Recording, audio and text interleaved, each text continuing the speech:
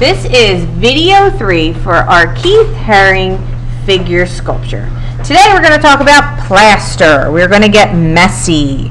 So before we even jump into materials and things like that, you need to remove all of your jewelry from your hands. Okay, so if you're wearing any kind of rings, bracelets, you're going to need to make sure you remove them because this step can get very messy. You want to make sure that you have an apron on your body and a placemat on your table before you even get started.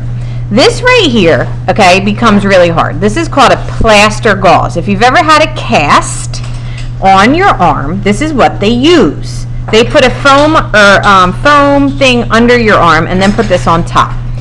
This gets activated as soon as it hits water.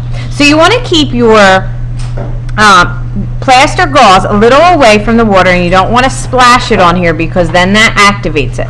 Once it's activated, it has about 10 to 15 minutes of work time and that's it. Okay, so this stage you're going to want to do very quickly um, and efficiently. And what's going to happen is you're going to, when it's done, it's going to harden like this. Okay, it's going to be very hard and then we're going to end up painting these. Okay, so the first thing is, is you have your armature. Okay, you got to make sure at this stage that your armature is freestanding. Freestanding means that it can stand by itself. If you touch it, it does not fall over. You don't want your person to lay on their back. Okay, so this one I had him doing a leap, but I changed him to almost like a stretching, like like almost like a straddle. If you can see, he's like this, but he can stand up. Okay, this is very important because this is three-dimensional and you want to make sure that your figure is free standing. All right, so this is how the plaster works.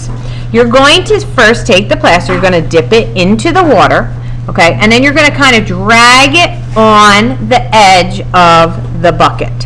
This is so that your water, it should not be dripping. This should not be dripping at all. If it is, then it has too much water on it.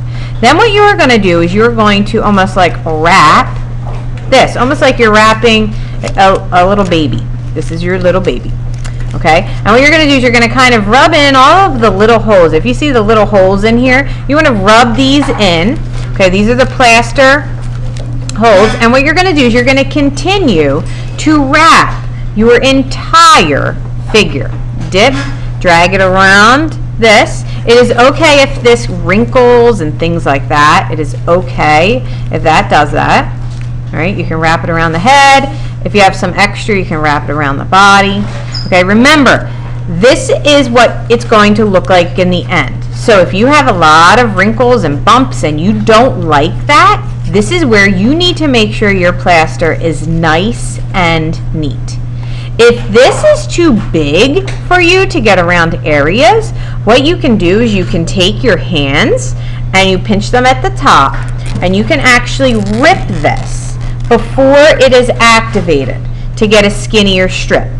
Once it's activated, you cannot no longer work with it. So I'm dripping it on the edge and maybe you need a skinnier area to wrap around the leg. So I'm going to keep wrapping it around the leg. What you're going to do is you're going to coat your entire figure two times. You need two layers of plaster on your figure. Once this is done and you're completely covered, what you want to make sure is your person is still free standing. If it's not, you need to move your person before it dries to make sure it's freestanding. You are then going to, after this guy is completely done and you've done two coats, two coats, you are going to put it in the back of the room in the located spot where Mrs. Ford tells you. You can then go wash your hands and clean up your table. If you have any questions about this step, please just ask.